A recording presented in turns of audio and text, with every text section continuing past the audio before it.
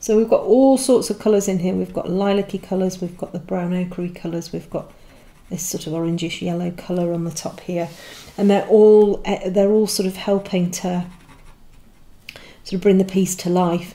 And this is why I don't worry so much. You know, if you've picked a wrong colour, it just doesn't matter because you just you, you just go over the top of it and you incorporate it in. Um, you know, and if you can kind of get to grips with that, it's it it just makes life so much nicer because you're just not you're not every time you put a wrong stroke down or what you think is a wrong stroke, it's just not a wrong stroke. It's just part of your piece. And you know, you'll notice I never rub, rub anything out. It's not because you know I'm the most amazing artist that I never make any mistakes. I make loads of mistakes, but I just incorporate them into what I'm doing, and I don't worry about them. I think you know when you make a when you make a big mistake, or if you think you've made a big mistake, that can kind of have a really detrimental effect if you start trying to rub it out and you know all of that kind of thing because actually it just makes you feel really really bad you know, oh, I've made a mistake. Oh, you know, gosh, that's rubbish. Blah blah blah. Um, but you know, uh, honestly, the amount of times I've been drawing, and yeah, I create like an outline and stuff. I mean, it's not the brilliant, most brilliant of outline, but if I if I think, oh, that hasn't worked particularly well, I just I just incorporate it into the drawing, and it and it never occurs to me that I've gone wrong or I've made a rubbish job of something, um, and that is a really really nice way um, you know, to be with your drawings because you then you you know you're not sort of sabotaging yourself or anything you you know anything like that. Um, so um, yeah. Now some people sort of um, you know say oh I don't really like drawings because they you know it makes my uh, makes everything go really shiny. Um, well it's not really the drawing that makes everything go shiny. It's probably a few more a few too many heavy layers and any pencil can you can get that with any pencil. Um, you know and, and actually it doesn't really matter. Um, once you get your glass on it it doesn't really show anyway so and and usually what happens is you'll say oh when I turn it this way or I look at it at a real angle I can see the shine and my answer is always well don't look at it at an angle just stop it. Um, you know, just look at it head on like you're supposed to do, and, and that's fine. Um, I'm, I'm all for, uh, you know, easy, um, quick fixes. just don't look at it in an angle.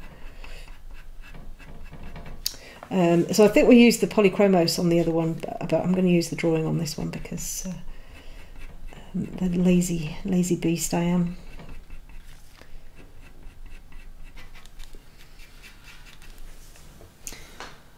which is pretty flipping awesome, isn't it? I was reading a um, re reading a review today on um, something, and they were they were talking about a review on um, pencils. I think it was the Castle, the Castle Arts pencils. So I've just been doing a little bit of research on them because obviously I've I've got my 120 of them now, and I, I'm, I'm going to be doing a review of them. But it was just saying, and really interesting because a lot of colour pencil artists don't ever not use odorless mineral spirits. And odorless mineral spirits are the, the things that um, it's like Zest-it and um, that sort of stuff, uh, Mona Lisa and, and Gamsol, and where you can actually put them onto your pencils and they all basically smear out. Um, and um, what's interesting is that when they talk about using the um, the, the OMS, the odorless mineral spirits, they talk about having a, um, a, a minimum minimum amount of layers before they actually, you know, um, work properly, and um, it's it's about six six or seven. So you've got to get six or seven layers down before you can actually use your odorless mineral spirits. You know, and usually people would use it to blend or to get sort of like a, um, you know, colour in without getting rid of the tooth and everything. And I'm just looking at what we've done here, you know, and I just think, you know, you don't need to use it. You really don't need to use it. And I think some people don't realise they don't have to use odorless mineral spirits to get, you know, really beautiful, um, you know, uh, results with their drawing. Some artists, they uh, they very rarely don't use it. Um, you know, it's sort of like their, their staple, and that's that's what they use to blend everything out and um, you know, and it's um, it's it's it's fine to use if you want to use it. I I choose not to use it. I can't use Zest-it because that, that leaves me literally without words. I, I, I, it's like I've had a stroke. It's horrific stuff. Um, I can use something like this. The only reason I've got this on my um, desk is because I've been doing oil painting, but I can use something like that if I wanted to, because that doesn't actually smell. Um, but it's still a chemical, um, you know, so it can still cause sort of headaches and all of that kind of stuff. And you, you've got to you've got to have a well ventilated area. But I use that for when I'm doing my oil painting, and that and it's okay.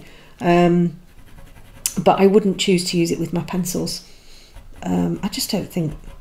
I'm, I just don't. I don't really like the effect, to be honest, of of what the um, um, of what it gives to the pencils. Um, I think uh, you know using pencils just on their own, I think, is a much nicer effect. I mean, that's just my opinion. I wouldn't stop other people using it, um, but I would say, you know, just be really, really careful if you do suffer from things like migraines and things like that because it can affect you massively. The Zest-it, oh my goodness, I can't have that anywhere near me. It's the most awful stuff. And they say it's a lovely natural smell. It's not. It's vile. um, but yeah, interesting that you you do have to get a lot of layers in before it's actually it's actually going to work for you. Um, you know, so right, okay. So let's look at just smoothing this out a little bit, um, bringing a little bit of colour into there. So I'm going to use that ochre again from the Pablo range. Um, we're just going to bring a little bit of that colour in there.